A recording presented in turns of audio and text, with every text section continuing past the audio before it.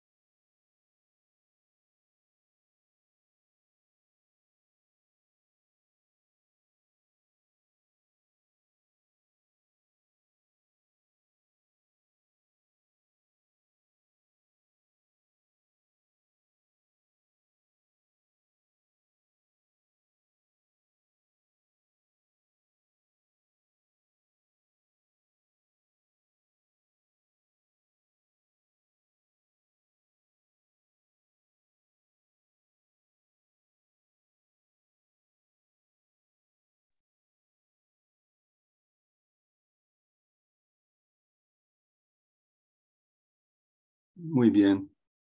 Creo que podemos, podemos arrancar. Eh, una vez más, eh, buenos días. Muchas gracias por, por la pa participación. Eh, hoy estamos muy contentos de, de, organizar aquí en conjunto este webinário entre BID e OPS, Red Criteria e Redetsa, é, aunque em passado, é, em anos anteriores, hemos tido a oportunidade de contribuir é, com webinários, não? É, Rede Critério contribuído ao BID em, em webinários da Redetsa e também na Revés, não? em anos anteriores. Pero este é a primeira oportunidade que temos, é o primeiro webinar realmente conjunto entre as duas redes, entre as duas instituições, o PS-BID, Redetsa Rede Critéria, Assim que eu pessoalmente estou muito contente com, com esta eh, por, por essa oportunidade e seguramente sei que meus colegas do, do BID também estão contentos.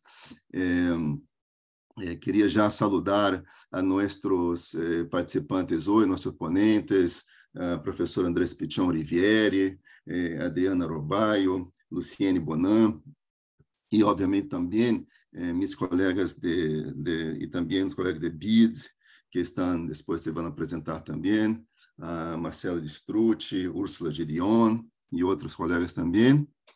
Ah, eh, vou fazer umas palavras muito breves de, de, de, de abertura. Também minha equipe aqui de OPS, saludar a, a Marlene Roman que, e agradecer por todo também o esforço organização, é, e também é, vamos atender a Vânia Canuto Santos, que também está conosco, foi diretora de Quanitec por muitos anos, e hoje vai ser também é, compartilhar a moderação dessa sessão junto com Ursula de Dion, que é coordenadora da rede Critério.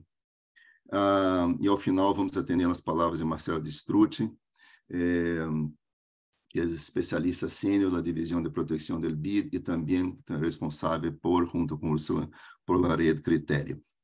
Eh, bien, vou mirar minhas notas porque sempre posso olvidar-me de algo. Eh, creio que já me apresentei, eu sou Alexandre Gruber, sou assessor para avaliação de tecnologias sanitárias e acesso da Organização Pan-Americana da Saúde. Uh, mencionar que um, temos tradução, temos interpretação uh, é, simultânea uh, e aqui se pode elegir o idioma abaixo. To our English-speaking audience, just reminding that we have interpretation with Spanish, uh, so you can click in the in the globe in the interpretation and you can choose the language.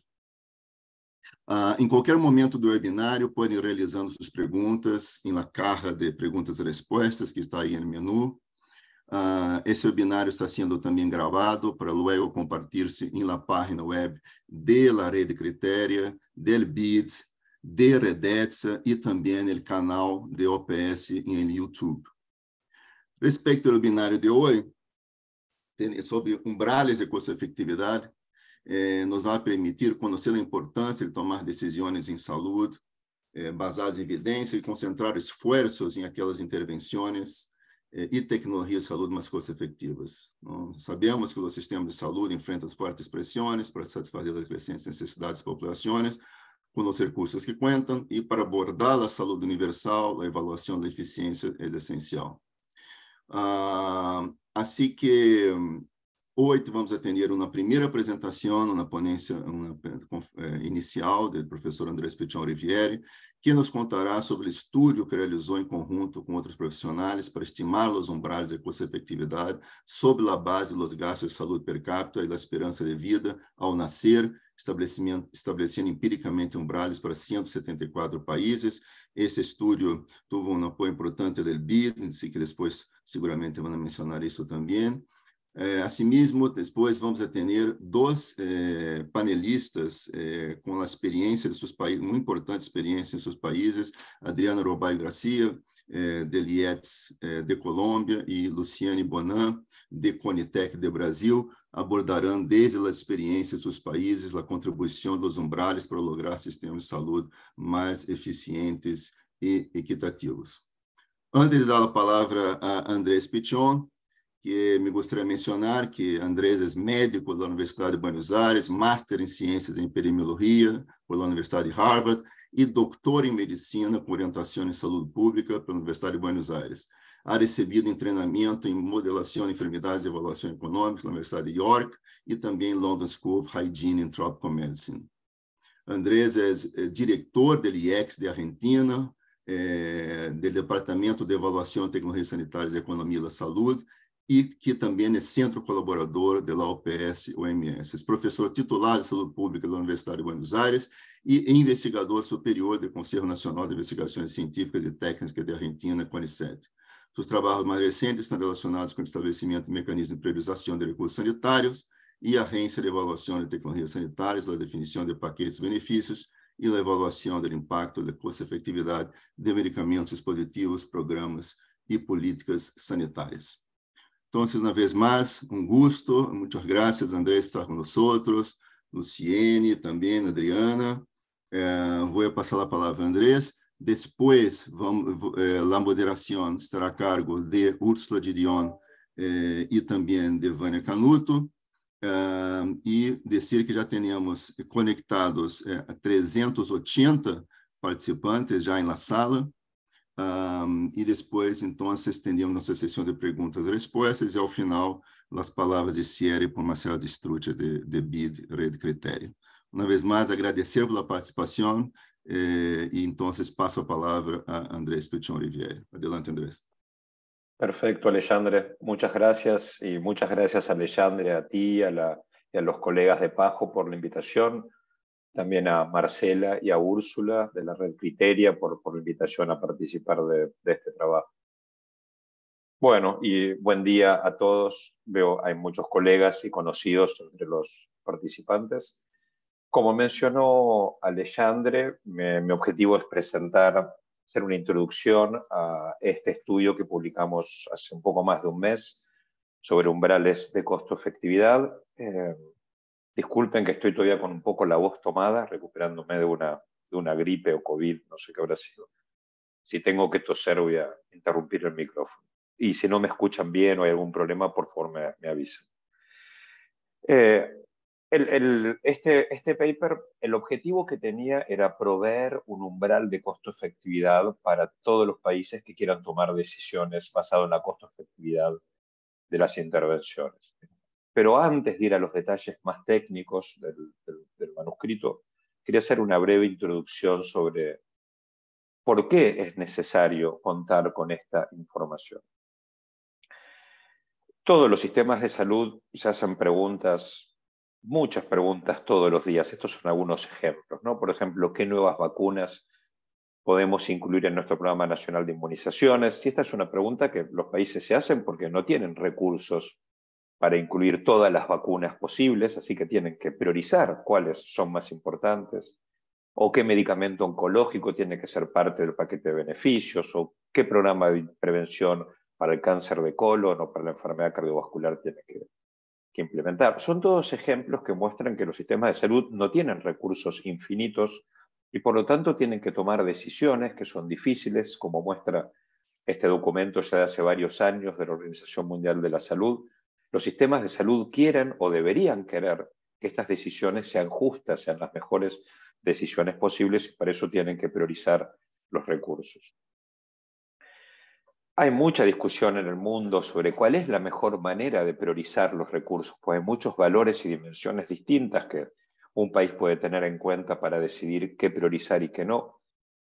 Pero hay un consenso en todo el mundo de que la costo-efectividad es una dimensión muy importante. No es la única, por supuesto, a tener en cuenta, pero es una dimensión muy importante. Y paradójicamente, a pesar de que esta dimensión es más importante todavía en países como los nuestros de Latinoamérica o el Caribe, suelen ser los países de altos ingresos como Canadá o el Reino Unido o Australia los que son más rigurosos y mejor implementan este criterio de costo-efectividad. Muchas veces nosotros en Latinoamérica y el Caribe, lamentablemente todavía no es una dimensión que estemos evaluando correctamente. Y quiero acá hacer una breve pausa también para discutir por qué ese es un lujo que no nos podemos dar. ¿Cómo es posible que países de altos ingresos evalúen la costo-efectividad muy seriamente antes de decidir cómo utilizan sus recursos y que nosotros, países de bajos y medianos ingresos, todavía no hayamos resuelto este problema? Y voy a dar un ejemplo con un solo aspecto que es la mortalidad infantil. En, la Unión Europea la mortalidad infantil es de aproximadamente 3 cada mil nacidos vivos, quiere decir que cada mil nacimientos es esperable que haya tres muertes, tres muertes infantiles. En forma muy simplificada, podríamos pensar que estas tres muertes que se dan en la Unión Europea son debido a condiciones que hoy no tienen tratamiento. Por eso se producen estas muertes, ¿no? Son o leucemias o cánceres que no tienen tratamiento o infecciones que no se pueden prevenir. No es estrictamente así, pero vamos a simplificar. Imaginemos que, bueno, Europa está haciendo todo lo posible para prevenir la mortalidad infantil y hay todavía algunas cosas que no tienen cura o no tienen tratamiento. Entonces, los sistemas de investigación en el mundo investigan para encontrar tratamientos nuevos para estas condiciones que todavía hoy no tienen tratamiento. Y así todo, estos países de la Unión Europea, cada vez que aparece una tecnología nueva, la evalúan muy rigurosamente para ver, entre otras cosas, si es costo efectivo. ¿Qué diferencia hay con nuestra región, con Latinoamérica y el Caribe? En nuestra región nosotros tenemos también estas mismas tres muertes cada mil debidas a condiciones que hoy todavía no tienen tratamiento. Pero lamentablemente en Latinoamérica nosotros tenemos además otras 11 muertes adicionales, por eso el total de muertes cada mil nacidos vivos en Latinoamérica y el Caribe es de 14 cada mil, en vez de 3 cada mil como es en Europa. Y estas 11 muertes, al contrario que estas otras 3, se deben a condiciones para las cuales sí existen tratamientos efectivos, es decir, que son prevenibles. No es necesario descubrir tratamientos nuevos, tenemos que encontrar la manera de que estas personas puedan acceder a esos tratamientos que están disponibles en algunos casos hace más de 50 años. Por lo tanto, Latinoamérica no puede darse el lujo de soslayar la costo-efectividad, de analizar la eficiencia de lo que hace a la hora de tomar decisiones sobre cómo va a asignar los recursos. No, lo tiene que hacer la Unión Europea, mucho más lo tenemos que hacer los países de bajos y medianos ingresos. Así que esto es a modo de, de introducción a, a por qué es importante tener en cuenta la dimensión económica. Sin embargo, no es fácil, eso todos lo sabemos, porque tener en cuenta la dimensión económica enfrenta muchas barreras que en los países de bajos y medianos ingresos son todavía más altas, porque nos falta información, nos faltan técnicos capacitados, falta información epidemiológica, falta información de costos. Estos son todos temas que discutimos en, esta publicación que estoy mostrando acá, realizada con el y que fue realizada también con mis colegas Federico Agustowski, Sebastián García Martí, Mike Drummond, al igual que el, que junto con Alfredo Palacios también el, manuscrito que voy a presentar hoy. Pero en este documento que se publicó hace unos dos años, discutimos estas barreras que enfrentan los países de Latinoamérica que quieren utilizar la evidencia económica y proponemos algunas herramientas para solucionarlas. Una de las barreras que discutíamos en este documento era que los países de Latinoamérica a veces no saben cuál es su umbral de costo-efectividad y eh, la presentación de hoy va a estar enfocada solamente en este aspecto del umbral de costo-efectividad. Vamos a repasar por las dudas eh, eh, qué significa este umbral de costo-efectividad. Cuando un país o un sistema de salud hace una evaluación económica de una tecnología, una nueva vacuna, un nuevo medicamento, el resultado de la evaluación económica se puede presentar en lo que se llama el, plano de costo-efectividad, que es este plano que vemos aquí. A la derecha quiere decir que la intervención nueva es más efectiva que lo que hacíamos antes, y en el eje vertical se analizan los costos y hacia arriba eso querría decir que incorporar esta nueva tecnología representa aumentar los costos del sistema de salud. Si hacemos una evaluación económica y el resultado aparece en este cuadrante inferior derecho, la decisión es muy fácil porque quiere decir que la intervención nueva es más efectiva y es menos costosa que lo que estábamos haciendo hasta ahora, así que no hay ninguna duda, el Ministerio de Salud, salvo situaciones muy puntuales que se discuten en el documento también, acá la decisión es fácil y esto se tiene que incorporar al sistema de salud. Lo mismo sucede en el cuadrante superior izquierdo. Esto querría un, un resultado en este cuadrante quiere decir que la intervención nueva es menos efectiva y cuesta más también sería, es muy fácil tomar la decisión que en este caso es de no incorporar esta tecnología en el sistema de salud. Pero la mayor parte de las nuevas tecnologías, cuando se hace una evaluación económica, lamentablemente no aparecen en el cuadrante inferior derecho, donde sería fácil tomar la decisión. Casi todas dan un resultado en el cuadrante superior derecho, que aquí las decisiones no son tan fáciles como los cuadrantes que mostré antes. Fíjense, por ejemplo, este punto verde esto muestra una tecnología que parece ser bastante más efectiva de lo que, lo que hacíamos antes y que incrementa los costos un poco. Esto es algo solo visual, ¿no? a modo de ejemplo.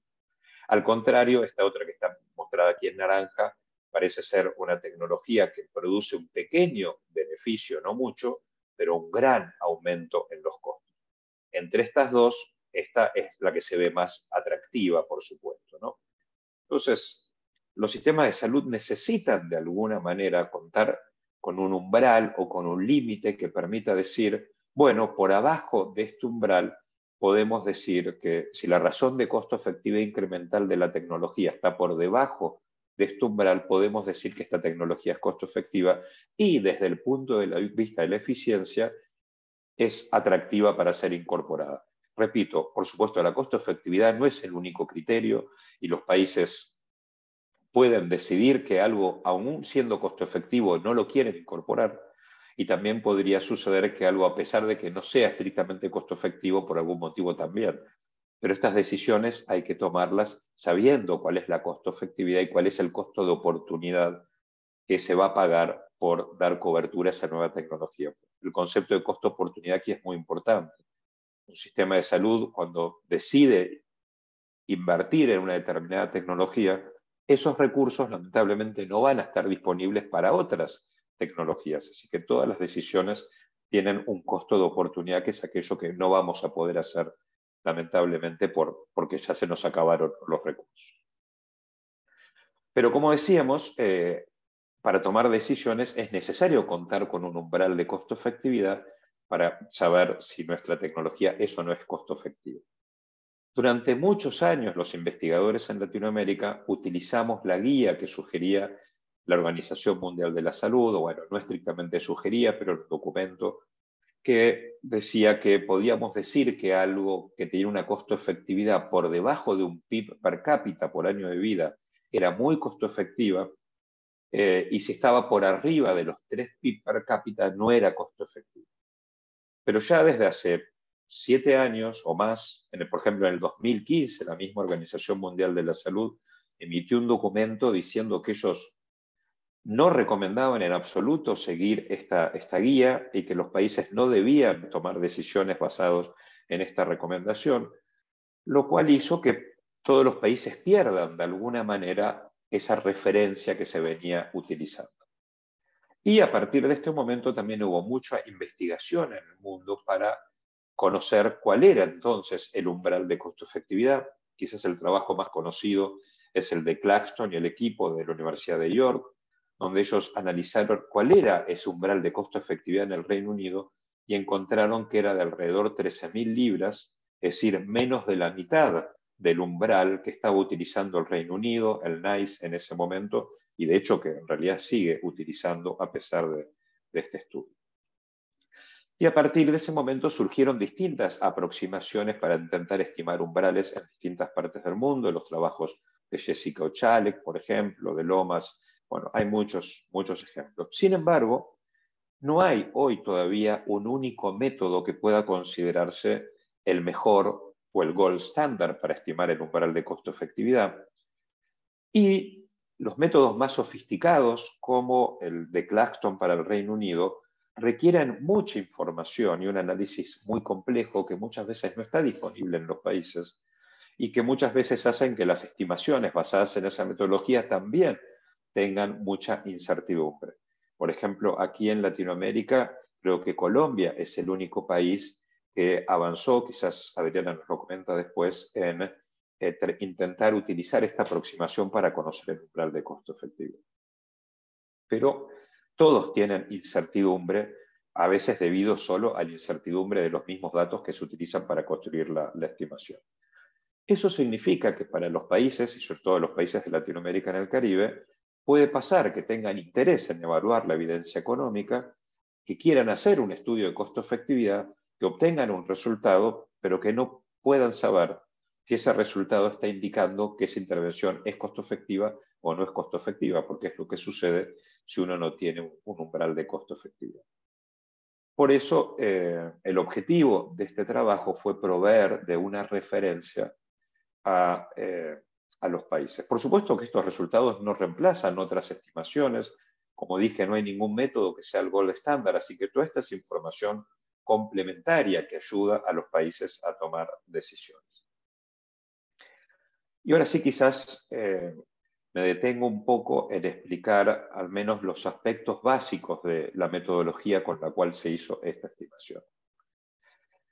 Fíjense este gráfico. Este gráfico muestra eh, cómo evoluciona a lo largo de los años. Es un país de medianos ingresos, podría ser Brasil, por ejemplo, eh, datos muy parecidos, cómo evolucionan dos variables. El gasto en salud per cápita, acá está medido en dólares americanos, y la expectativa de vida de la población. Fíjense que este país en el año 2007 tenía una expectativa de 73 años, en el 2011 aumentó su expectativa de vida y llegó a 74 años. Esto es lo habitual.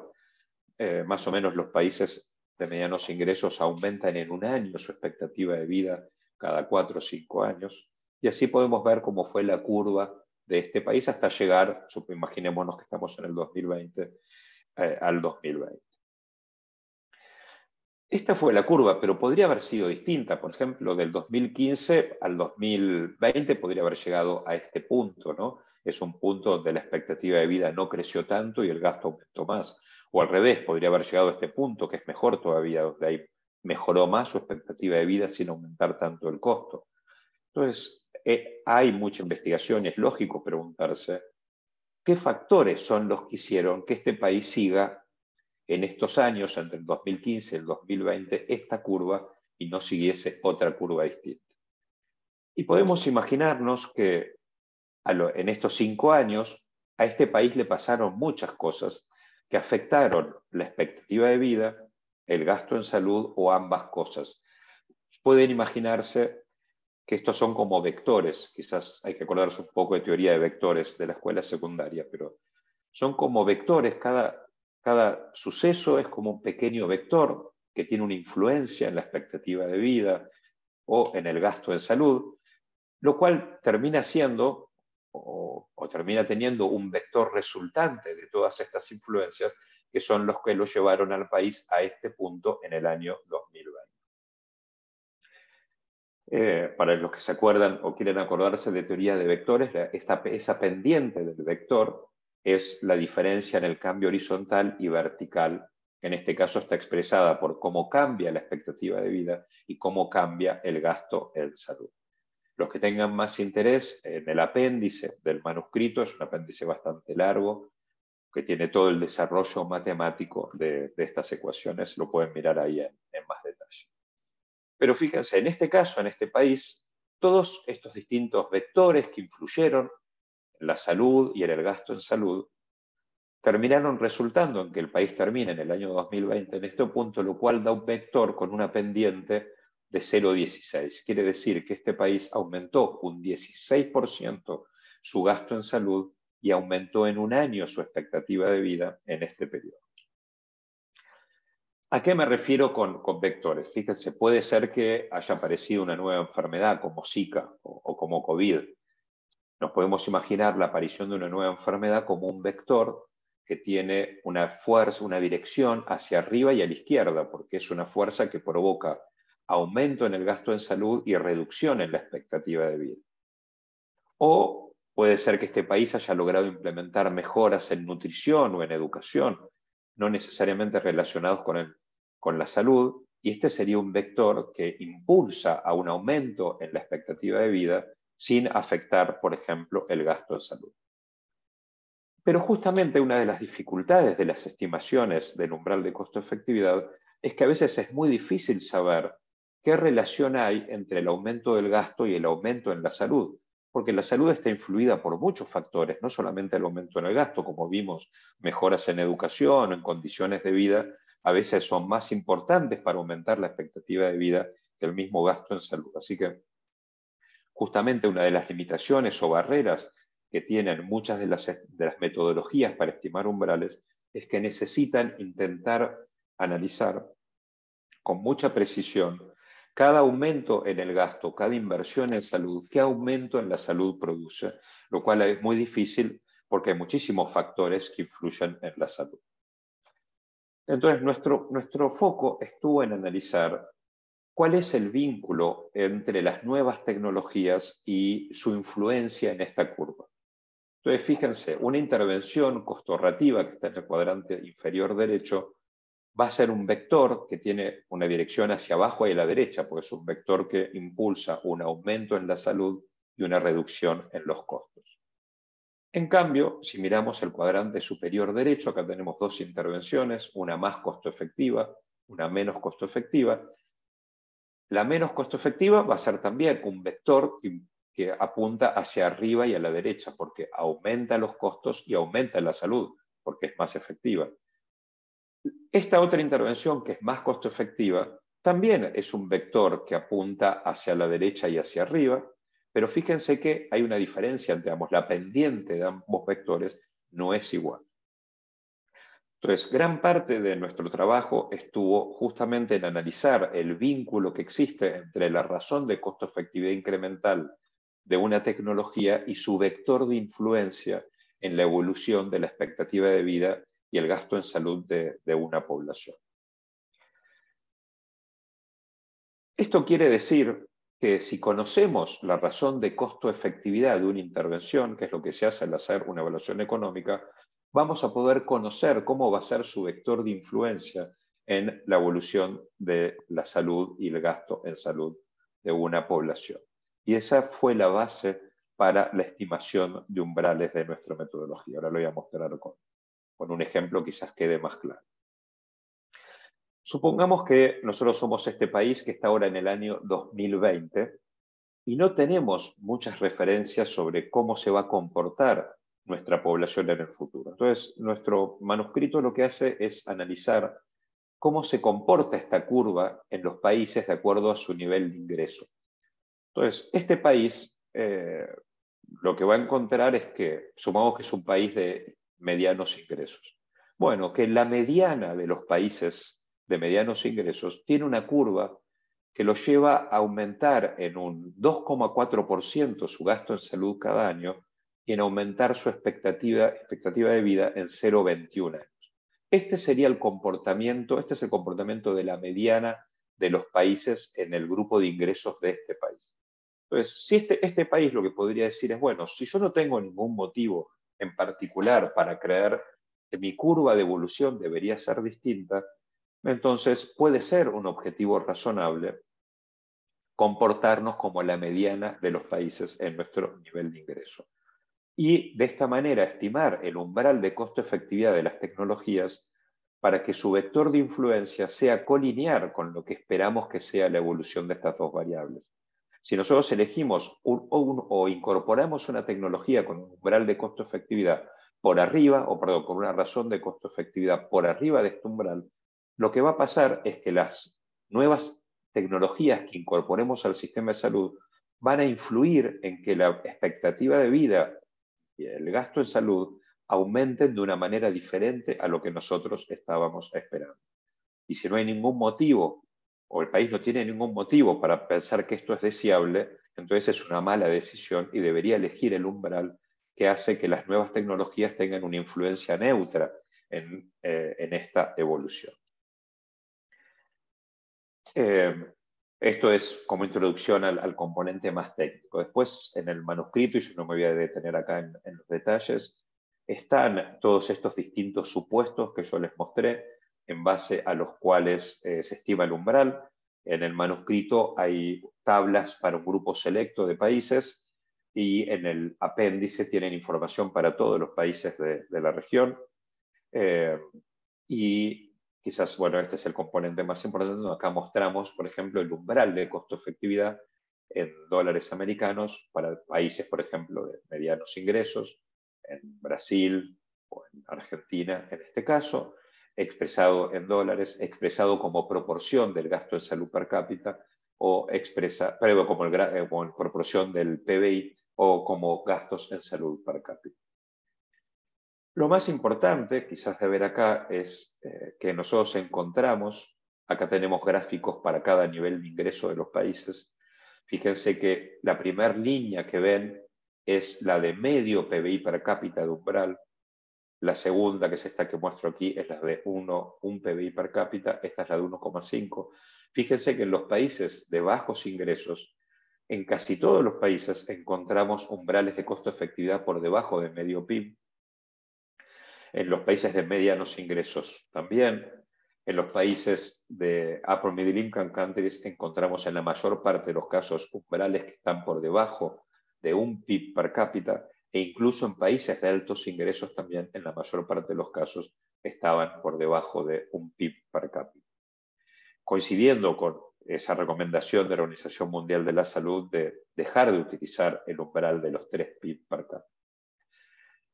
Este, ese es un aspecto de nuestro trabajo. Igual lo más importante es que los países pueden estimar su propio umbral. Pues nosotros le proveemos un umbral basado en ciertos supuestos, pero los países, como describimos en el manuscrito, en algunos casos pueden tener motivos para creer que deberían elegir un umbral distinto, así que tienen, en el manuscrito también está una, plataforma, una calculadora eh, disponible en la web donde cada país puede estimar su propio eh, umbral. Y finalmente, para terminar, eh, Vania Caruto me pidió una breve mención al impacto presupuestario, que también está en una situación muy parecida. Cada vez más los países quieren analizar cuál es el impacto presupuestario de una intervención antes de incorporarla, y sucede lo mismo. Uno puede tener un análisis de impacto presupuestario, pero falta una referencia que diga cuándo algo es de alto impacto presupuestario y cuándo no, en este documento que mostré al principio, eh, hecho junto con el BID, nosotros ahí damos una primera referencia de cuáles podrían ser los umbrales de, alto impacto presupuestario en varios países de, de, Latinoamérica. Y en estos momentos estamos trabajando junto con mis colegas en completar una revisión sistemática y en hacer una primera sugerencia de cuatro categorías de impacto presupuestario, bajo, impacto moderado, eh, alto impacto presupuestario y muy alto impacto presupuestario, basado en proporciones del gasto de salud. Eso, esto quiere decir 0.05 partes cada mil del gasto de salud. Entonces, eh, bueno, en el documento que mencioné en el vida hay un poco más de detalle, pero estos serían los nuevos valores que nosotros estamos sugiriendo. Pero esto lo dejo quizás solo como comentario que podemos discutirlo más, más en detalle después. Como conclusión, eh, esta metodología que nosotros desarrollamos eh, aporta un nuevo enfoque, está hecha con datos que son fácilmente accesibles porque se basa en el gasto en salud y en la evolución de la expectativa de vida. Permite que todos los países tengan una referencia de cuál podría ser el umbral de costo-efectividad. A pesar de que es una metodología distinta, es coincidente con las estimaciones más recientes hechas del costo de oportunidad con otras metodologías. Como mostré también, encontramos umbrales mucho más bajos que los que sugería en el pasado la OMS, en casi todos los casos por debajo de un PIB per cápita. Eh, y como mencionaba antes, valores que coinciden con las estimaciones de costo de oportunidad en otros países o como los valores que otros países están intentando implementar, como recientemente Brasil, que Brasil también definió eh, creo que es el país de Latinoamérica el primero que explícitamente define un umbral de costo-efectividad que, pero si no me equivoco, fue de, un PIB para acá. Y con esto eh, finalizo y ya quedo disponible para preguntas. Muchas gracias. Muchísimas gracias, Andrés, por tu excelente presentación que ha sido, como siempre, muy clara, al punto y también muy pedagógica. La verdad, eres un maestro, profesor. Quisiera poder copiarme tus capacidades para poder transmitir conceptos tan complejos de esta manera tan sencilla. De verdad, gracias. Gracias también a Alexandri y Vania por haber promovido ese webinar conjunto. Como bien lo dijo Alexandri, ese es como el primer webinar de verdad conjunto de de nuestra red Criteria con la red eh, Redetza y, y, estamos súper emocionados de este el BID también de esta oportunidad y creo que ya, ya es hora de que trabajemos más juntos porque estamos trabajando en áreas muy, muy relacionadas. Eh, creo que todos los que estamos aquí, veo que hay más de 500 personas conectadas, pero todos los que estamos aquí eh, quisiéramos que se usen los recursos finitos de salud ojalá de la manera más sabia posible. Y quizás esto hoy, 2023, es más importante aún que nunca, porque estamos ante un panorama fiscal absolutamente difícil. Em, hay muchos países en la región que no verán crecer sus presupuestos en salud, algunos inclusive puede ser que caigan. Entonces, tomar decisiones inteligentes, la verdad, si era importante antes, ahora es, lo es más. Y cuando uno habla de inteligencia en asignación de recursos, obviamente también automáticamente llega al tema de, lograr la mayor salud posible para todos con los recursos que se cuenta. Y esto es un criterio fundamental que la verdad nunca debería faltar para tomar decisiones de lo que se cubre y no se cubre. Y Andrés nos lo mostró muy bien, no es el único criterio, hay mucha de discusión alrededor, pero creo que este criterio no, no debería faltar y aún menos en, en el contexto actual. Y justamente el umbral de costo efectividad es para esos efectos claves porque en últimas lo que nos indica es si una decisión de cubrir A, B, C, no solo va a beneficiar a unos pocos, a los pacientes, sino si estas mejoras de salud em, son a costa de la salud de todos o en cambio nos benefician en el agregado. Y también, como lo ha dicho Andrés, la verdad, si somos muy sinceros, en los países de ingresos medios y América Latina aplica perfectamente, muy pocos han calculado umbrales. Em, Brasil, Argentina, em, Colombia, ahora República Dominicana, seguramente se me escapó alguno, pero los puedo contar con, con una, una mano. Y lo que es quizás aún más relevante es, aún menos los usan de manera sistemática. Yo creo que hay varios que lo han calculado, pero no los usan de manera sistemática. Eh, por lo tanto, creo que lo que propone Andrés, Andrés siempre me da la impresión que trata de, de generar nuevos métodos que, que son pragmáticos, que podemos aplicar, que no nos implican rocket science, que son, son utilizables. Ya, la verdad me parece un paso fantástico para que los países puedan comenzar a, analizar ese umbral, a jugar con él, a analizar sus decisiones de cobertura usando ese, umbral. Y ojalá en algún momento se animen a construir sus propios umbrales eh, basados en sus propios contextos, sus propios datos. Y creemos desde, este, de este criterio que este, este paso de calcular sus propios umbrales en realidad es bien importante porque un umbral no es una cifra, en realidad es un, es un criterio bien poderoso porque en función de él se puede decir, vale la pena tomar una decisión o no tomarla. Y siendo esa, ese umbral tan poderosa, la verdad, la confianza es un elemento central. Y para que haya confianza, los países se, tienen que sentir absolutamente cómodos con el, con el umbral y tienen que sentir que pueden confiar en él y que, que, que pueden ajustar los datos con sus propios datos. Y en este momento precisamente el BID está, ha calculado un umbral con, con el equipo de York que mencionó em, Andrés.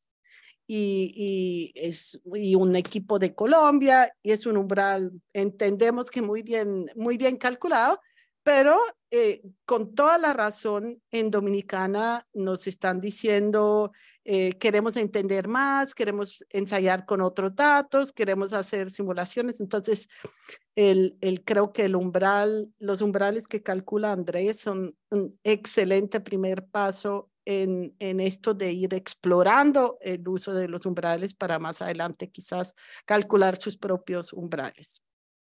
Ahora, y esto Andrés lo mencionó y creo que estamos totalmente alineados. O sea, esos umbrales no tienen ningún sentido si no son usados de manera sistemática en los procesos de decisión. Y esto no está asegurado en nuestra región. Entonces, quisiera como invitar a pensar que estas herramientas como los análisis de coste-efectividad y los umbrales son, claro, son muy poderosos cuando se usan en especial, cuando se usan de manera combinada, pero si no se usan de manera sistemática en las decisiones, no son más que cálculos.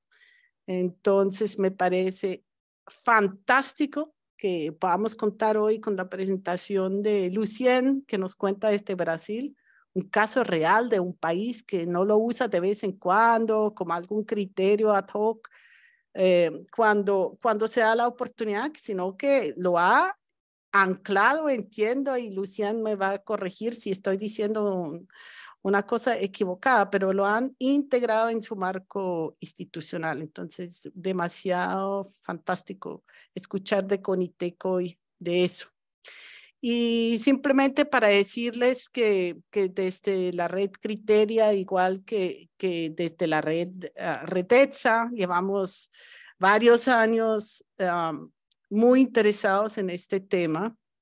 Eh, Andrés mencionó ya la publicación que él escribió con otros colegas, hay otras publicaciones, hay varios webinars que hemos hecho sobre eso y también tenemos un curso MOOC que no lo menciono por el curso en sí, es un curso sobre priorización donde, donde mm, los temas de, priorización son bien importantes, pero lo menciono aquí porque justamente Andrés, con, con la, la capacidad que ya sabemos de, que tiene de transmitir conceptos complejos, Uh, tiene unas sesiones donde explica mm, lo que son los umbrales de costo-efectividad y las discusiones que hay alrededor.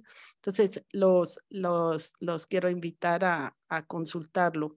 Y también mencionarles que, que de alguna manera desde el BID creemos que es muy importante como empezar a evidenciar el poder del umbral de costo-efectividad en términos de poder mostrar el costo-oportunidad que tienen las decisiones. O sea, no hablar de una razón o de un cálculo o de una metodología, no solamente eso, sino mostrar con casos reales cuántos cuántos cuáles están pagando algunos países con algunas decisiones eh, de cobertura de medicamentos de alto costo que no son costo efectivas. Y vamos a tener una serie de webinars sobre esos estudios, pero y no me quiero adelantar, pero quizás solo decirles que la verdad nos impresionó a todos la cantidad de años de vida que se están sacrificando para cubrir medicamentos de alto costo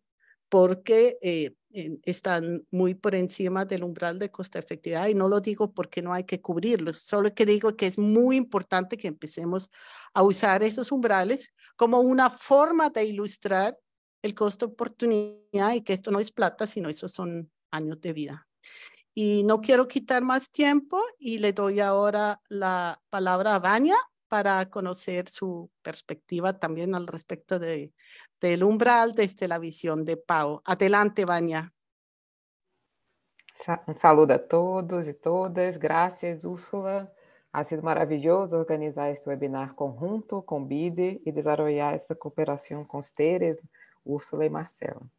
Graças a Deus por elaborar esse estúdio fundamental para apoiar a toma de decisão sobre incorporação de tecnologias em saúde como Úrsula dijo e Andrés também, é importante que seja sistemático, que a toma de decisão leve em consideração avaliação de tecnologias em saúde, que, seja, que haja um link na toma de decisão com ETS e com avaliação econômica e com a definição dos umbrales de custo-efetividade, que é muito, muito importante para assegurar eh, a alocação eficiente de los recursos, para interpretar os resultados de custo-efetividade, compreender o perfil de, de eficiência esperado das novas tecnologias. O umbral também promove a transparência na toma de decisão e pode ser uma ferramenta importante para a negociação de preços de medicamentos e outras tecnologias, porque quando se define um, um, um umbral, é, em muitos casos, como o Luciene vai falar em Brasil, vemos que há um, uma possibilidade de negociação de preço e tentar ter preços mais justos, se isto é possível. É, é importante também ressaltar que os umbrales em, em passado se definiam em geral com base na experiência dos representantes dos comitês de avaliação de tecnologias nos países. E eu creio que isto também eh, ha hecho com que os países da América Latina não tuvieran a, a segurança para estabelecer um umbral. Isto passou em Brasil, porque teníamos eh, um medo, porque não teníamos a metodologia, então é muito importante este estudo, estudo que Andrés ha desenvolvido em IEX, porque eh, com isso os países têm a ferramenta, eh, um estudo claro eh, para é, tomar, é, tomaram uma decisão. Isso é muito importante é, que os países tenham esta claridade em sua, tomada de decisão. E que, então, solamente, como Andrés disse, é, há, menos de 10 anos começaram os estudos. Este estudo de IEX é um dos mais importantes do mundo. Isto é muito importante para nossa região, que nossa região está desenvolvendo metodologias em ETS e que IEX é um centro colaborador de OPS. Esse estudo de IEX apoiou a toma de decisões de Conitec em Brasil em passado sobre umbrales, depois de muitos anos de, anos de discussão em país, que incluiu a participação social, através de consultas públicas, audiências públicas, e Luciene vai, vai, vai falar sobre sua implementação e, os desafios em, em país. É, desde o PS, Redetia viene apoiando, desde sua criação em 2011, o fortalecimento das capacidades de ETS na região, incluindo cursos de avaliação econômica em saúde, desenvolvendo webinários sobre o tema, ponendo a discussão nas reuniões anuais de Redetia. Este ano, hemos recebido uma demanda dos países para intensificarmos os, os cursos de, para intensificar os cursos de avaliação econômica e sabemos que é necessário eh, investir aún mais na formação nesta área, já que existem aún brechas de conhecimento da região. A quantidade de pessoas eh, neste webinário sinaliza a importância eh, eh, para a região de, discussão desse tema. Em, é nosso webinário com mais pessoas, ligamos aqui em, em, em, nossa eh, em Zoom com mais de 500 pessoas e aún a, a, temos pessoas que estão assistindo por YouTube de, de OPS. Então, é um tema muito importante para a região. É, também em nossa base regional de informes de avaliação de tecnologia em saúde das Américas, BRISA, se encontra disponíveis cerca de 3 mil informes de ETS, muitos deles com informes completos com estudos de custo-efetividade. Então, é importante mencionar isso, é una base muito grande que é crecido muito em, desarrollado y muito mucho en últimos anos e que os países consultam muito e y, estudos de custo-efetividade aí. Eh, então, eu creio que nesse sentido é importante incentivar cada vez mais a produção de documentos metodológicos que puedan apoiar os tomadores de decisão na região para que para promover o acesso a tecnologias mais efetivas para a população, apoiar a asignação de recursos, contribuindo para a sustentabilidade do, do sistema de saúde. Eh, em sua apresentação, eu, eu pedi, André, para falar um pouquinho de, de metodologia de umbrales impacto pressupostário. Eu creio que é muito importante para nós outros, para países em desenvolvimento, además da eficiência da tecnologia, saber se a tecnologia é sustentável para o sistema de saúde. Por exemplo, em Brasil, somos uma, uma população muito grande, e os outros países também, e por vezes pode ser que a tecnologia seja custo-efetiva, mas que a, a sustentabilidade do sistema de saúde se, esteja uh, ameaçado por uma, um impacto pressupostário tão tão grande. Então, eu creio que temos que eh, invertir em, en, e impacto presupuestário, é uma metodologia que podemos trabalhar em nossa região. Eh, assim, eu creio que vamos avançando juntos com os, los, universidades, os hospitais, os núcleos de evaluação de tecnologias, com bid, OPS, juntos na melhora metodológica de ETS, e que, que eu creio que nós outros na região hemos crescido muito nos últimos anos, desenvolvido muito. E agora, antes de passar a palavra para Adriana Robaggio, de, de Colômbia, nossa amiga Adriana, vou apresentá-la. Adriana é a diretora executiva do Instituto de Avaliação de Tecnologia em Saúde IETS, de Colômbia, membro da Comissão Assessora de Benefícios, Custos, Tarifas e Condições de Operação do Asseguramento em Saúde de Colômbia, conselheira regional de la Sociedad Latinoamericana de Nefrología y Hipertensión Arterial, médica cirujana de la de Colombia, especialista clínica en medicina interna y nefrología eh, de la Javeriana, especialista en economía de salud de la de Los Andes, especialista en gerencia de salud pública, especialista en gerencia ocupacional y epidemiología, eh, epidemióloga de campo do Instituto Nacional de Saúde de Colômbia e conta com mais de 20 anos de experiência clínica, acadêmica, investigativa, administrativa e diretiva. Muitas graças, Adriana, por estar aqui conosco hoje. Adelante, é um gosto tê-la aqui. aqui. Hola, Vania. Hola, amigos. Buenos días. Muchas gracias por esta tan especial invitación de OPS y del BIT. Y pues sí tengo cosas para comentar. He puesto mucho cuidado en lo que han dicho Andrés y Úrsula y pues tengo que hacer algunos comentarios en una forma rápida. Voy a poner mi reloj para que no me vaya a pasar. Entonces, eh, decirles que en Colombia, en el Instituto de Evaluación de Tecnologías en Salud, hemos evaluado a la fecha y hemos hecho 52 evaluaciones económicas completas. Esto, eh, esto viene del año 2014, 2015 aproximadamente. Eh, decir que en Colombia se ha aumentado paulatinamente el gasto en salud y en este momento el gasto en salud por habitante, sea de fuentes públicas, fuentes privadas, gasto de bolsillo y adicionales, son aproximadamente 477 dólares y que, como lo mencionaron, en el año 2021 pudimos eh, calcular el umbral de costo efectividad para Colombia este umbral nos dio cerca de 0.86% de un PIB per cápita, muy por debajo, como decían, de los tres eh, PIB per cápita que sugería la OMS. Este umbral de costo efectividad en años de vida perdidos evitables fue de 4.487 dólares y el para eh, los ABAC fue de 5.180 dólares. Pero, ¿por qué lo usamos o por qué no lo usamos? Hay varias cosas eh, en forma especial. Adriana, Adriana. No, es que me la inactivaron. No, espérate. Eh, la cámara no está activada. No, está inactivada. No, no, no activa. Ah, ahora está bien. ya activo. No, ahora no, Es que se inactiva, pero no sé por qué, no soy yo. No. Si me lo pueden dejar activada. Ahora vemos. Está bien, Listo. ahora está. A ver si nos apaga. Gracias. Eh, no, se, se, inactiva, creo. Bueno, entonces, eh, esto para decir que nosotros sí usamos el umbral de costo efectividad, pero no tanto como quisiéramos, según la impresión real que realmente tiene Úrsula. Pero esto tiene una historia. De alguna forma, en Colombia, previo al año 93, únicamente el 20% de la población tenía algún tipo de afiliación normal, eh, oficial y por un seguro de salud, y cerca del 80% tenía algún gasto voluntario o por caridad. Esto cambió de alguna forma con una ley que se llamó la Ley 100 del año 93, en que se da pues cobertura más amplia y se obliga a afiliar por uno u otro sistema de salud, sea contributivo subsidiado a los ciudadanos y los habitantes del territorio colombiano.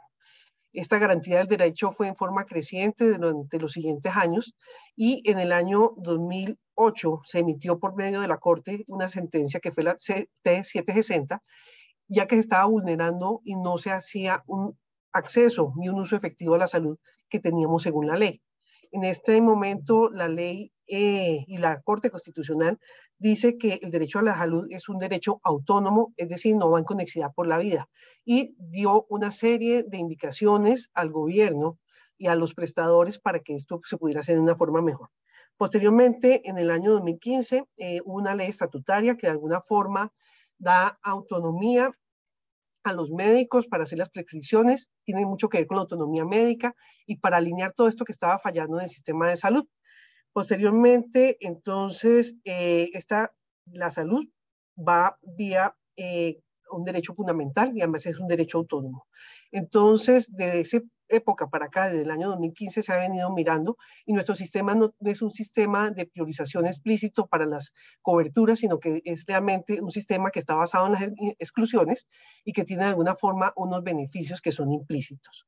Hemos venido usando y haciendo diferentes manuales, métodos y demás, hacemos evaluaciones económicas, hacemos impactos presupuestales, hacemos guías, pero para ser muy francos, en este momento nuestras evaluaciones económicas y el uso del umbral costo efectividad que se calculó en el año 2021 lo estamos usando para posicionamientos terapéuticos y para las evaluaciones económicas de las guías de práctica clínica. No tanto para priorizar como quisiéramos, no tanto para escoger sobre una intervención u otra. Y es que hay algunas poblaciones que además tienen unos derechos especiales, como son las poblaciones que tienen enfermedades huérfanas a las que toca darles cobertura. Y como insisto, de alguna forma los derechos eh, privados y los derechos individuales priman sobre los intereses colectivos.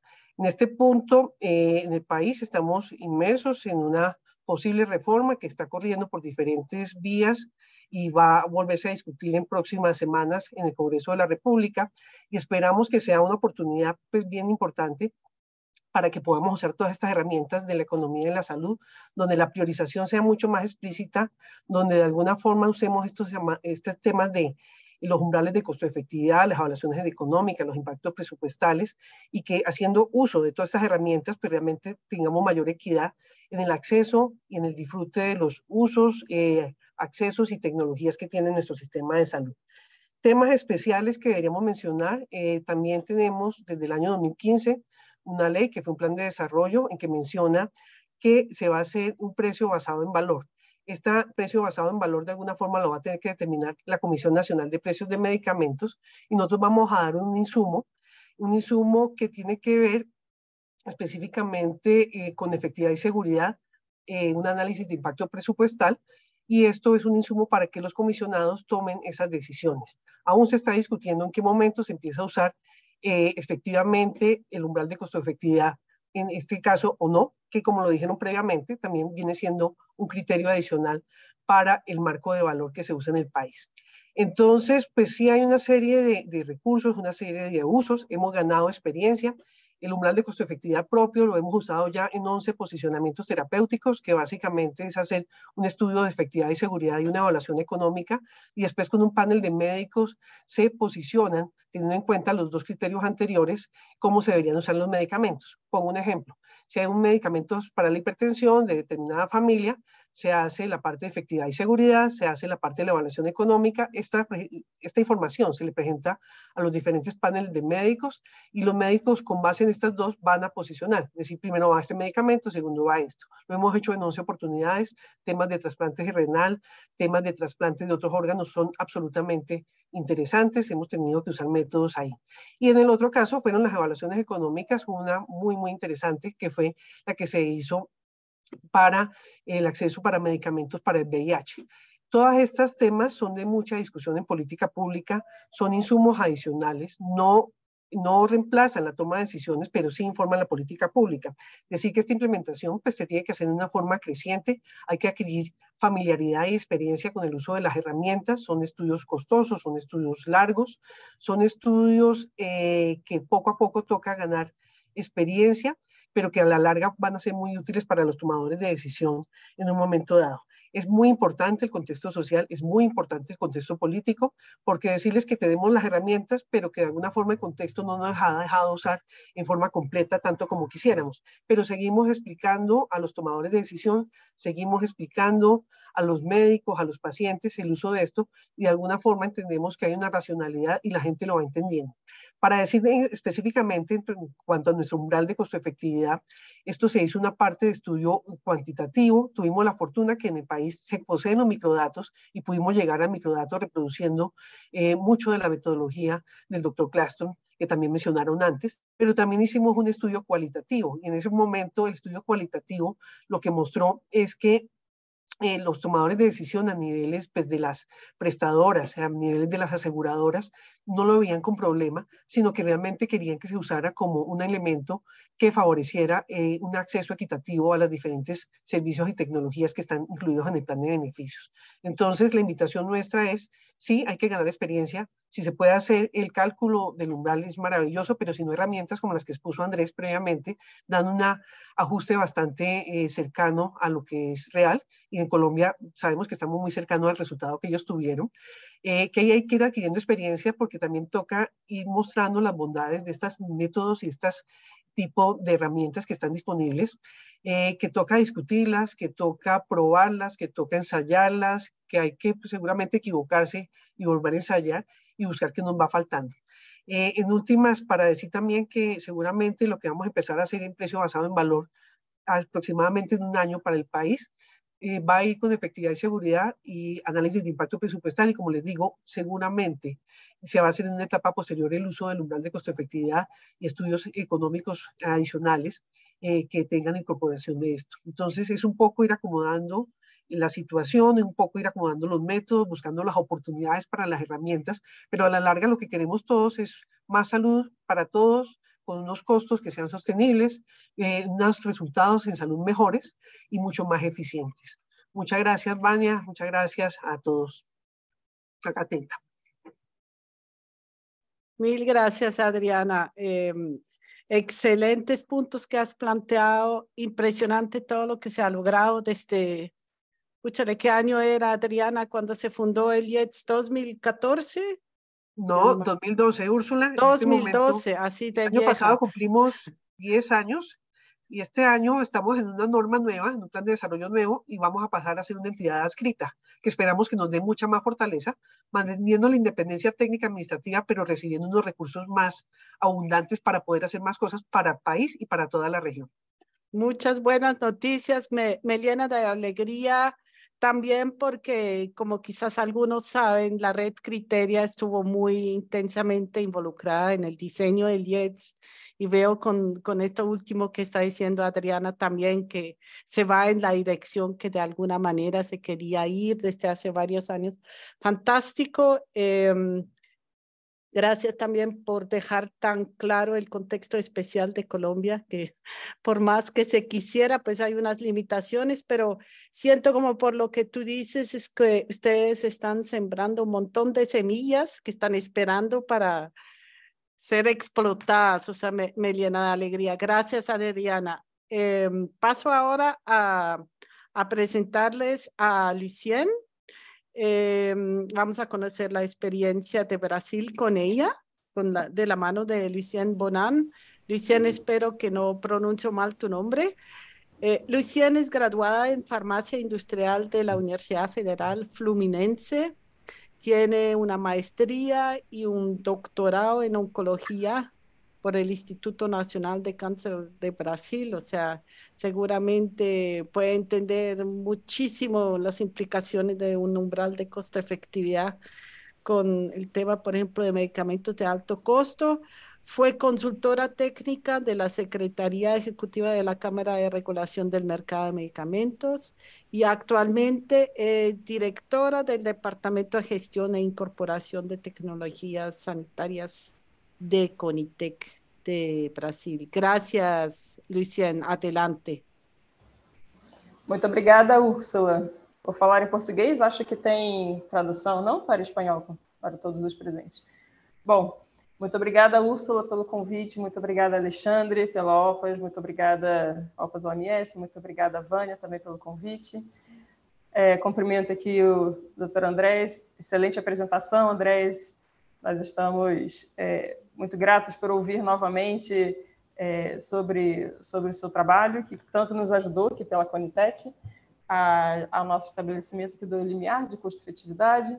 Agradeço também a a palestrante, a Adriana também, sempre um prazer revê-la e vê-la falar, sempre um prazer.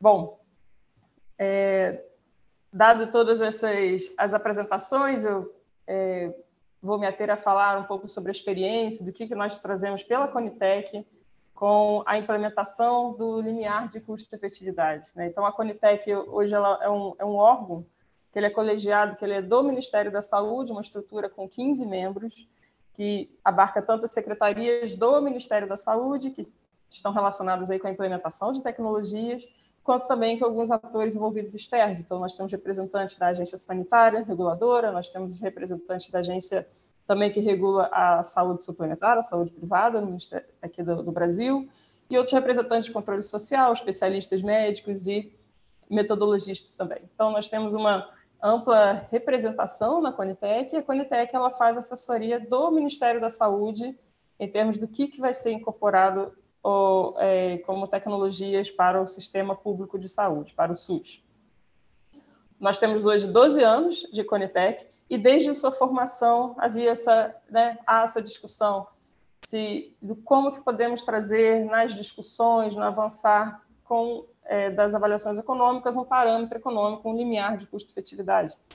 Assim como foi falado, é, em, nós não tínhamos, né, desde a sua criação, uma segurança, uh, uma, uma segurança é, para se estabelecer um, um limiar, os, os outros, com experiência de outros países, experiências internacionais, o que víamos eram limiares estabelecidos é, com, de forma subjetiva ou não explícita, então não tínhamos uma segurança, muito menos uma segurança normativa de se estabelecer um limiar de construtividade no Brasil. Mesmo assim, a Conitec veio se debruçando com metodologias, com acompanhando o que estava sendo, né, evoluindo com o grupo do, de York, com o grupo de Claxton, com a, a metodologia do, do, limiar a partir de custo-oportunidade, é, evoluindo também, acompanhando todo o trabalho do IEX, né? E também, né, inicialmente, também fomos olhar como que estava acontecendo, né, é, em, depois de 10 anos né, de, de Conitec, como que estavam acontecendo as, as decisões, a tomada de decisão. Havia um limiar é, subjetivo na tomada de decisão? Então, nós avaliamos a, a, todas as incorporações prévias e o que vimos era que não havia um, um, limiar. Haviam recomendações favoráveis ou desfavoráveis e todas elas com, com valores né, de, de custo-efetividade muito é, flutuantes, com intervalos muito grandes. Então, não tinha, não, não tinha uma relação entre o que estava sendo recomendado negativamente ou positivamente com a relação de custo-efetividade. E isso é uma constatação que leva a dois pontos. Né? É, que, primeiro, que podemos crer que a, a, tomada de decisão ela não leva a relação de custo-efetividade como único critério, então isso o plenário da Conitec ele já toma sua decisão também levando em considerações outros critérios na tomada de decisão, não só do, do, da relação de custo-efetividade, dessa relação de eficiência de uma tecnologia, mas uma segunda constatação também que pode ser que nós tenhamos no plenário também um, um limiar subjetivo né, de, de cada indivíduo, de cada ente ali representando no plenário, e que poderia, a, a depender de como as informações são demonstradas com a tecnologia, tender o plenário para uma ou outra é, recomendação. Então, é, um, um, primeiro ponto que foi levantado, então, foi, foi trabalhadas oficinas, né? Nós tivemos é, oficinas importantes, uma, uma, uma, em 2020 com o plenário da Conitec, e foi constatado ali, olha, que o plenário falou, olha, de fato, é necessário ter um limiar de competitividade. Então, a maioria do plenário colocou, precisamos ter um limiar de competitividade. Por quê? Porque precisamos trazer mais é, um parâmetro de fato explícito que traga mais coerência nessa decisão. Segundo ponto, um limiar de competitividade foram apresentadas ali as, as metodologias né, desses grupos e foi colocado assim, é, precisamos avançar e, e, conhecer isso. Mas acho que um fator também determinante que, de, que, que deu de segurança foi a inclusão normativa. Né? Então, em 2022, nós tivemos alteração é, da lei do SUS, incluindo ali, né, quando, nos artigos que falam da Conitec, que a Conitec precisava, assim, de um parâmetro explícito, é, um parâmetro econômico explícito nas avaliações econômicas.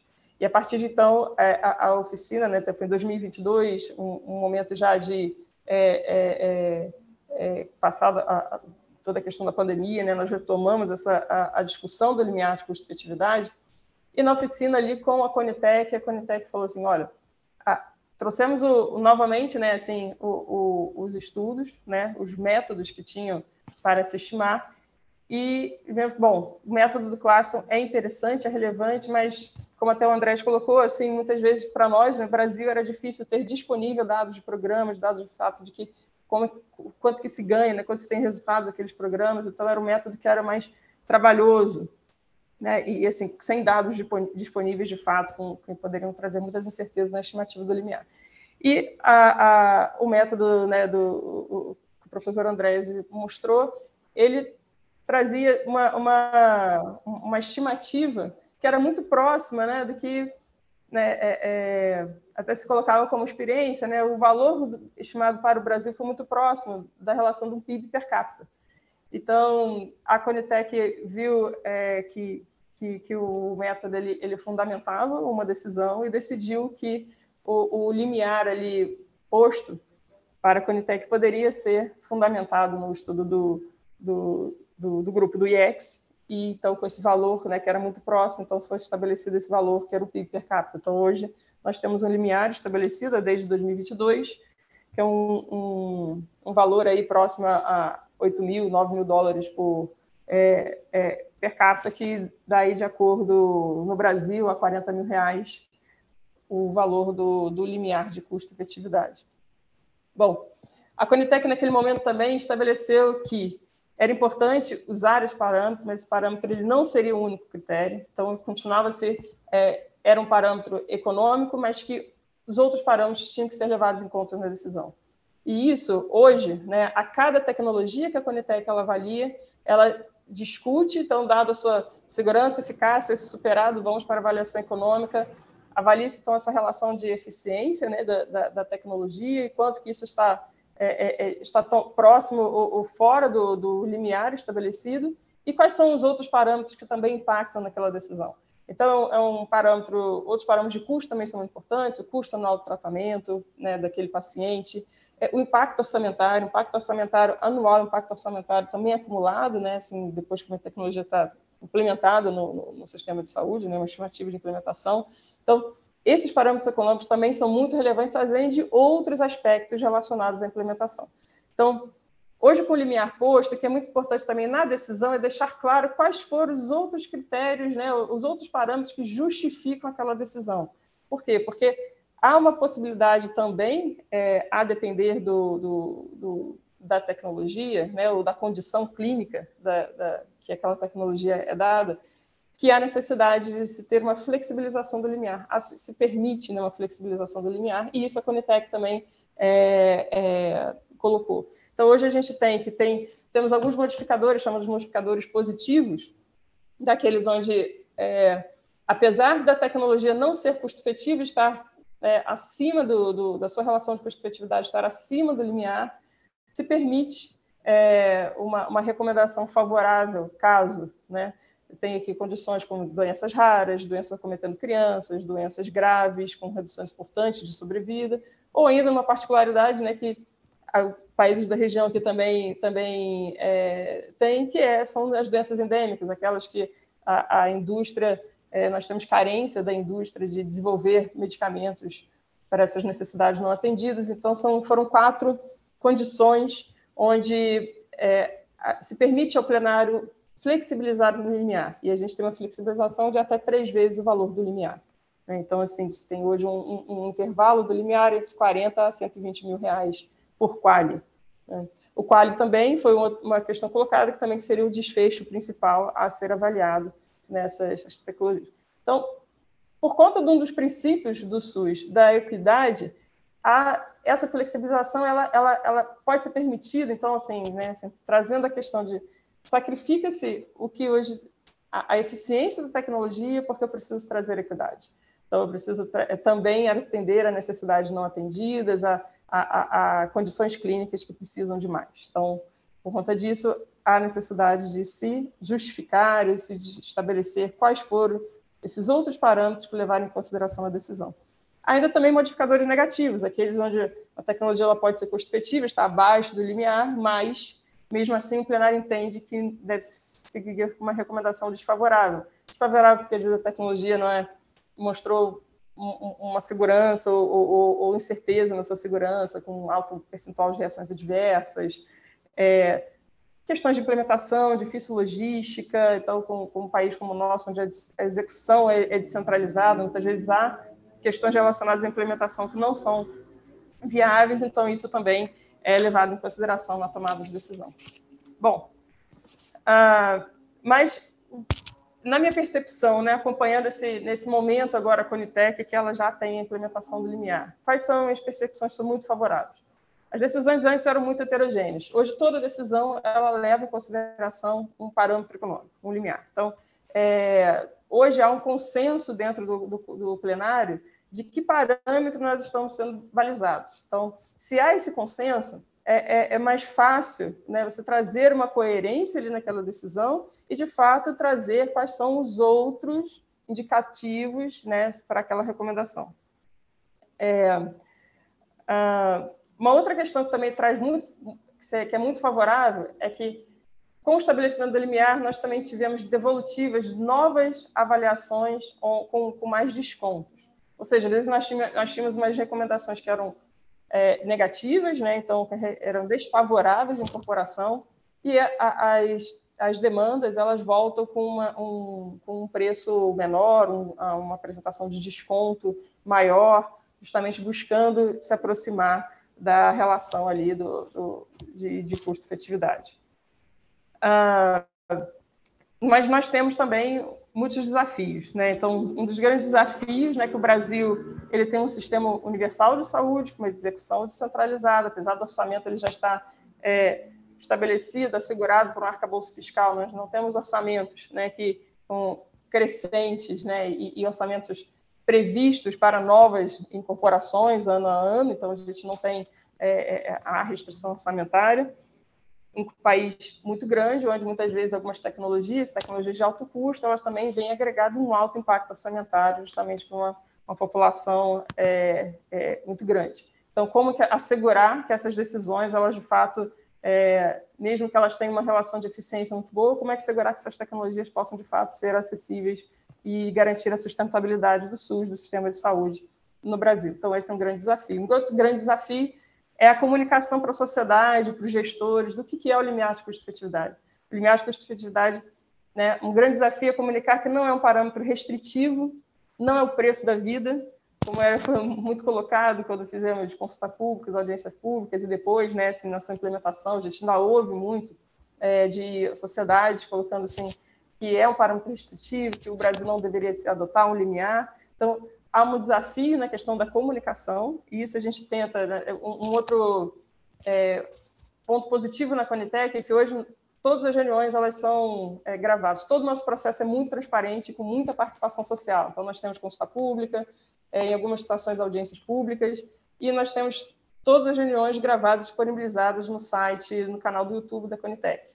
Então, é, hoje é, é, é, incessantemente nós fazemos, né? Então, a cada tecnologia, uma discussão que leva sempre em consideração a questão do limiar, justamente para desmistificar né, que não é o limiar, a adoção de um limiar não é uma questão restritiva, né? E sim, ela, ela ajuda nessa coerência, ajuda a trazer tecnologias que de fato é, tenham, tragam eficiência para o sistema de saúde.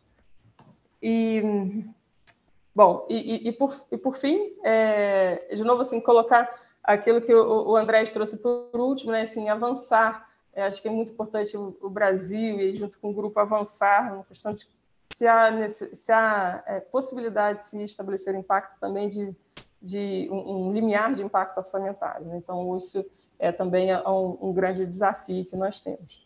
No mais, agradeço e fico aí disponível às perguntas de todos vocês. Muito obrigada pela participação.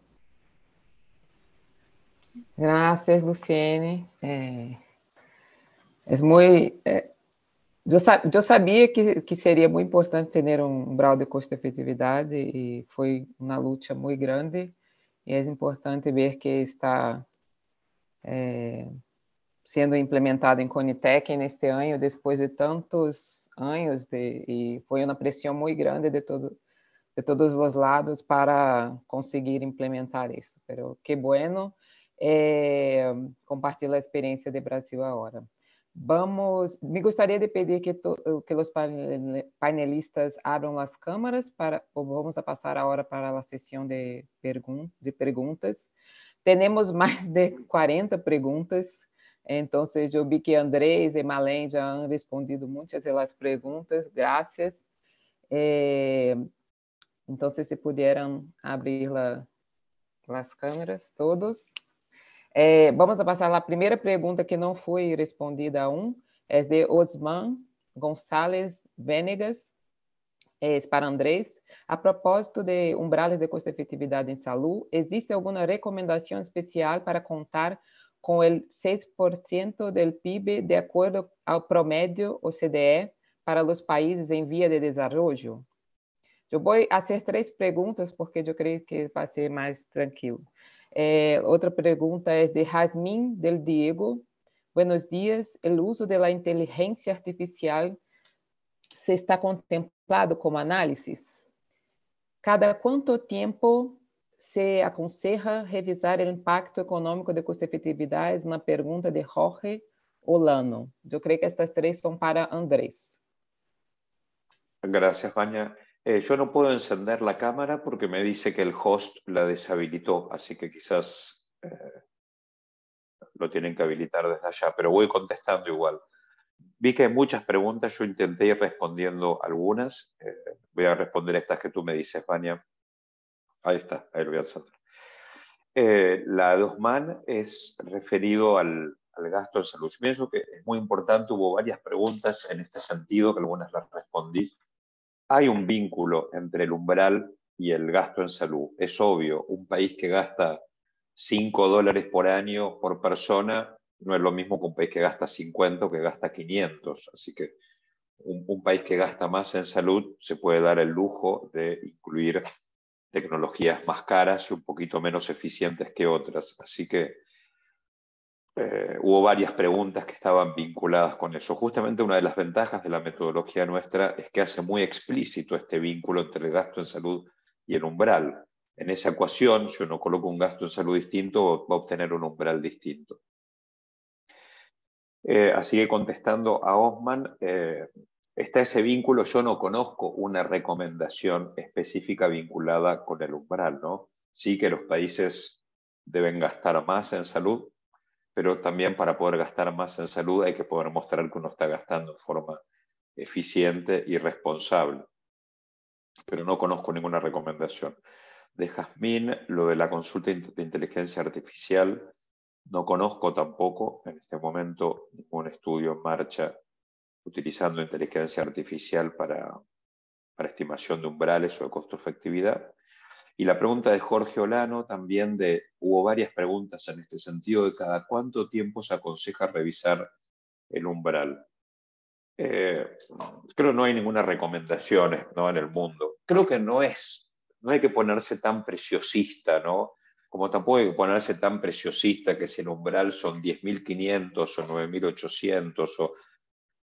Hoy estamos a, a kilómetros y kilómetros de distancia. Yo pienso que hay que tener un primer umbral, hay que comenzar a hacer evaluaciones económicas, hay que comenzar a, como dijo Úrsula, a tener en cuenta el costo de oportunidad de las decisiones que tomamos y nadie va a tomar una decisión porque una intervención era un dólar más cara en costo-efectividad que el umbral. Yo pienso que es uno de los criterios más a tener en cuenta.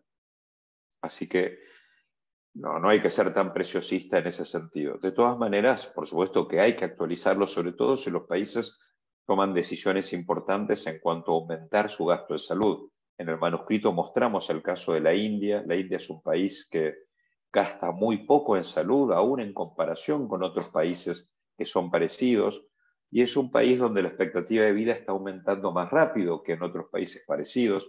Así que quizás la India tiene buenos motivos por ejemplo, si ellos deciden que quieren llegar a un gasto en salud del 5% del PIB en X años, ese es un buen motivo para actualizar su umbral más seguido, pues están haciendo cambios muy importantes o estarían haciendo cambios muy importantes. Pero si no, es una referencia que si eh, dos años, tres años, cuatro años no se actualiza, en mi opinión no, pasa nada grave, porque no es el único criterio ¿no? que, se, que se tiene en cuenta creo que ahí contesté esas tres, bueno.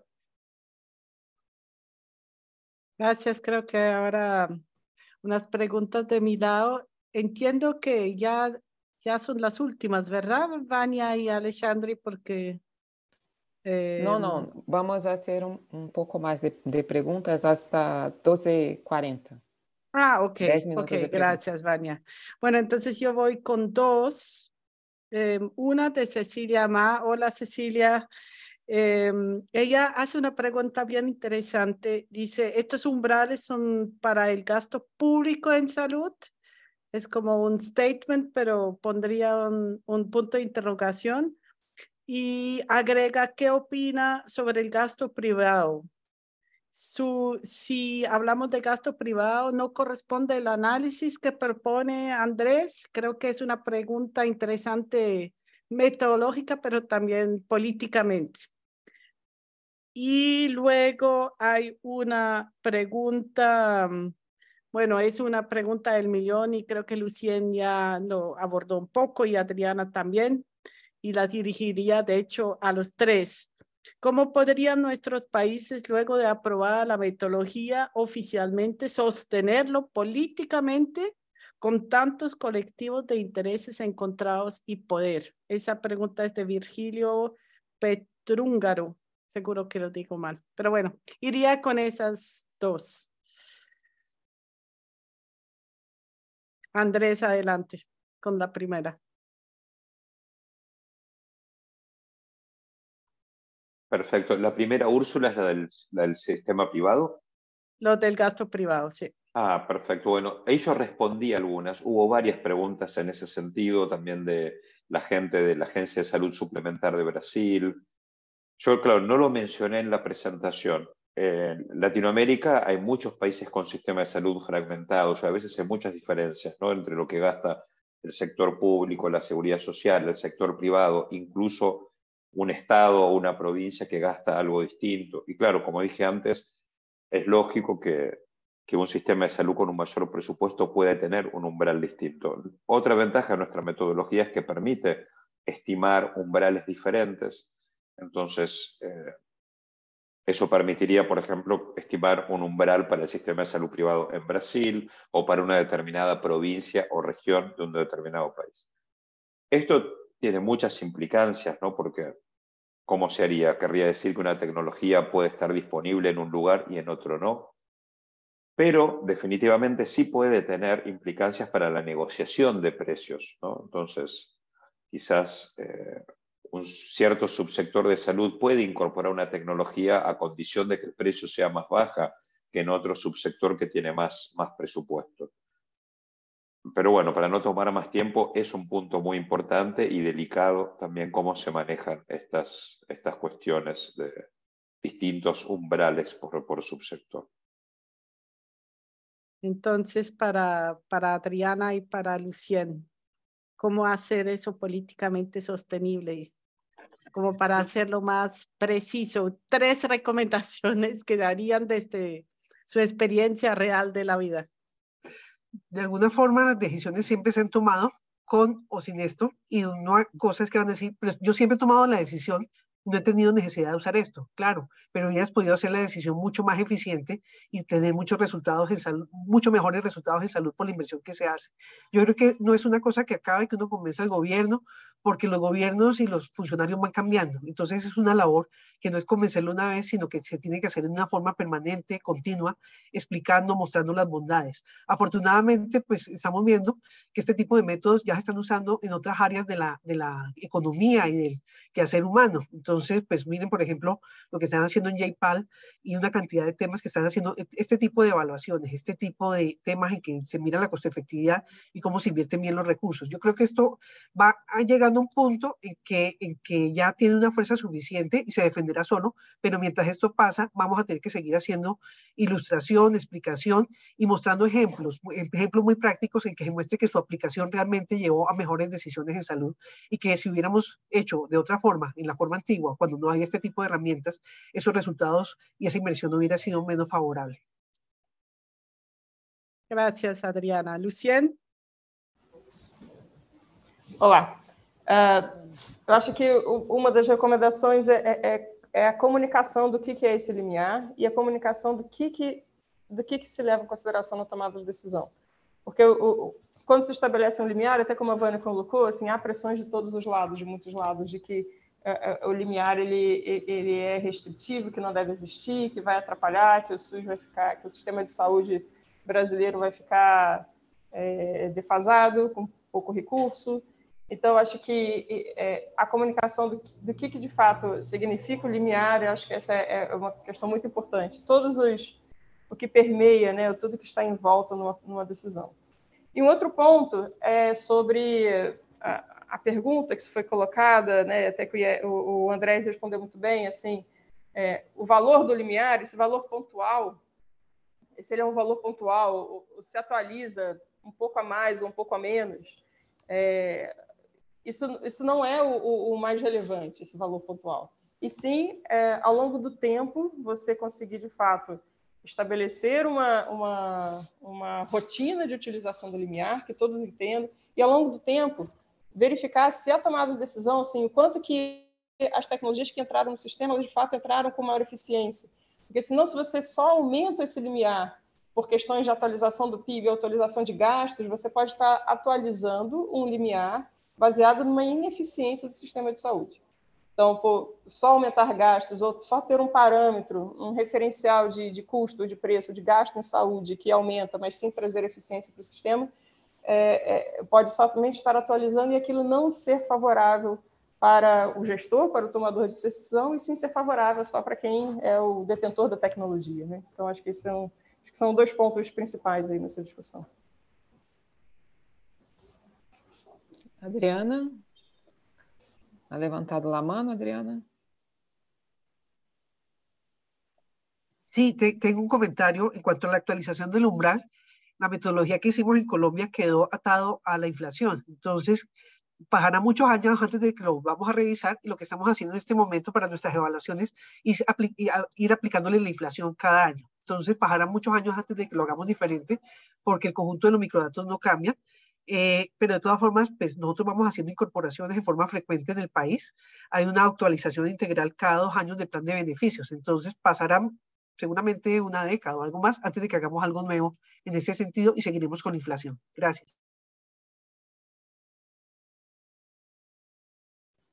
Hay una pregunta aquí para Lucien, pero yo creo que que seria importante também para a Colômbia, que passa por uma situação parecida que Brasil, que é da judicialização. Então, como se articula, em caso Conitec e IEX, com o Poder Judiciário para reduzir a judicialização de aquisição de medicamentos de tratamento de alto custo que acaba generando iniquidade e afetando fortemente os pressupostos subnacionais de, de saúde. Uma pergunta de Francisco Shoa, porque quando estabelecemos limiares de custo-efetividade, aún há eh, a questão da judicialização? Pues si quieren empiezo. Eh, sí, es una, es una realidad, pero directamente hemos intentado varios temas, pero como las, eh, las sentencias de la Corte Constitucional llegan directamente hacia, hacia el Ministerio de Salud, el Ministerio de Salud, en la forma en que funcionamos en la comisión asesora, son la Secretaría Técnica y ellos hacen la respuesta. Estamos eh, intentados, no, realmente no, estamos comprometidos con la Dirección de Beneficios del Ministerio a centrarnos en las próximas semanas a empezar a buscar más soluciones, más eh, respuestas a los jueces, porque de alguna forma es un entendimiento de cómo se hace eh, y cómo se entiende el derecho en cada país. Acá somos garantistas, acá priman muchísimo los derechos individuales y muchas veces se olvida el derecho colectivo. Entonces hay que mostrarle todas estas herramientas y ya tenemos planteada esta reunión eh, con la gente del ministerio para poder abordar a los diferentes eh, cortes, por un lado, a explicarle un poco más a los jueces y que esto se vuelva una práctica y que ellos entiendan que esta práctica va a permitir una mayor equidad. Entonces, es algo que está en tránsito, estamos en proceso y espero que de aquí al año entrante les podamos contar algo adicional. Muy bien. Quizás una pregunta que me parece relevante de Alicia Ferreira y creo que es para todos los panelistas y tiene que ver con la coherencia de las herramientas.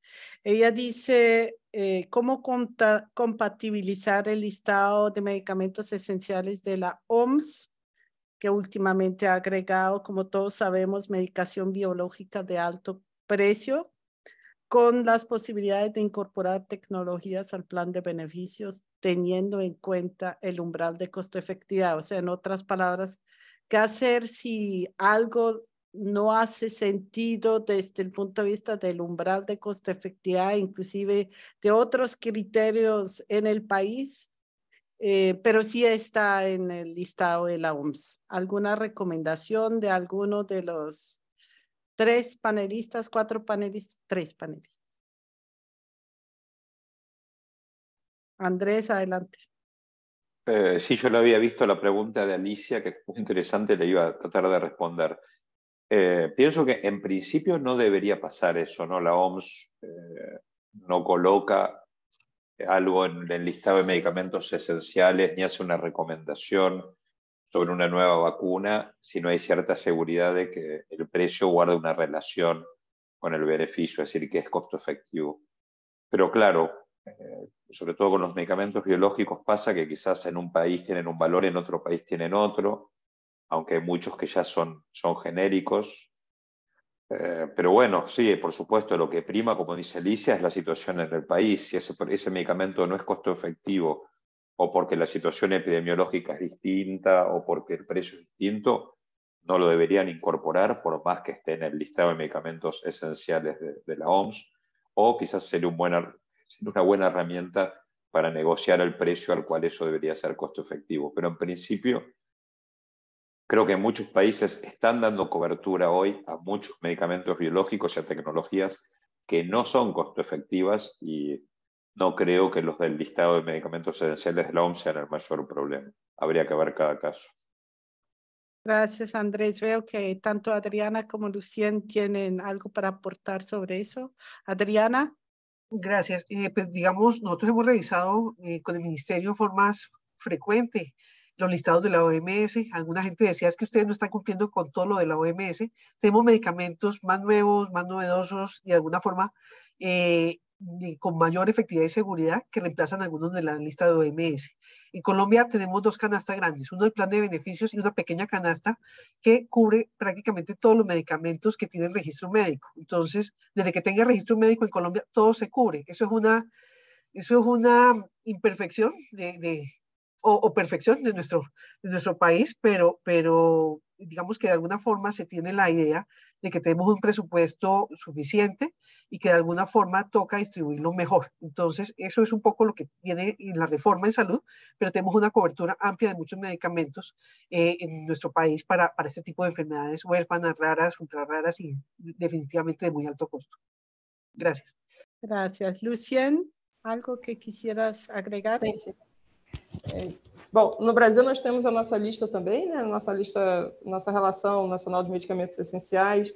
Mas a nossa, o, o Brasil ele tem a execução descentralizada, então também o, o, os estados e os municípios, as cidades, elas também podem ter suas próprias listas de medicamentos padronizados. E nesse sentido, é, pega um pouco do que o, o, o comentou, assim, porque nós temos que ter numa, numa incorporação, numa, numa é, colocação em lista, a, o impacto econômico que aquilo tem. Então, assim, é, a Conitec ela, essa, ela auxilia, então, do que se, o que, que se entra nas listas né, de, de federais. Mas eu queria também comentar um outro ponto que é em relação à articulação com o judiciário, que tinham perguntado é, anteriormente. Bom, a, Conitec ela tem feito todo um trabalho também é, de mostrar que é a instância administrativa que auxilia o Ministério da Saúde no que, que deve ser incorporado, padronizado ou não no Brasil.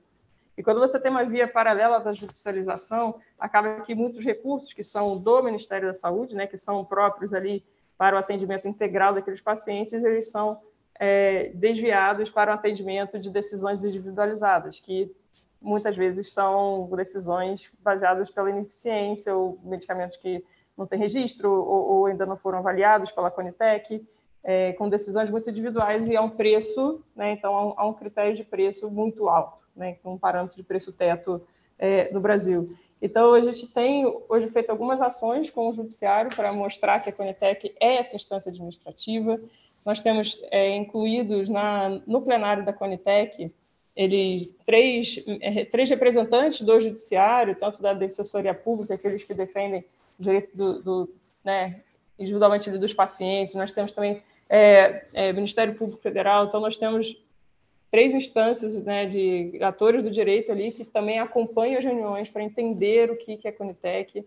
É, fizemos, nós temos também reuniões né, com o Ministério da Saúde, com a, a, o Conselho Nacional de Justiça, que é o órgão que recomenda aos juízes, então, eles têm ali recomendações também relacionadas à saúde, ali incluídas a Conitec, falando assim, judiciário, respeite as decisões da Conitec. Né? Então, não extrapolem né, a, sua, a, sua, a sua decisão fora do que já existe no processo administrativo. Então, nós temos também algumas ações aqui no Brasil, junto ao judiciário, mas sim a constatação é que a curva da judicialização aqui, como entendimento também da, da saúde como direito garantido, a curva da judicialização no Brasil é sempre muito, muito sempre ascendente. Então, esse comentário que eu gostaria de fazer. Obrigada, Luciene. Graças, Adriana. Graças a todos. Eh, temos muitas perguntas aún, pero não vamos a ter tempo para ser a hora. Eh, vamos a passar a Marcela Distrucci de BID para ser o cierre de nosso maravilhoso evento, muito exitoso. Estou muito contenta por termos todos aqui hoje. Marcela. Muchas gracias, Vania, y muchas gracias a todos y todas. Yo creo que ha sido una excelente sesión, muy participativa. Yo creo que el número de participantes y el hecho de que todos seguimos aquí conectados es una excelente indicación acerca de la relevancia de esta temática y del interés, ¿verdad?, que provoca en nuestra región. Yo creo que nos aseguraremos, ¿verdad, Alexandre, Vania, Úrsula, de que habrá más oportunidades para discutir este tema en los webinars de Redetza, de la Recriteria, en nuestros materiales de conocimiento.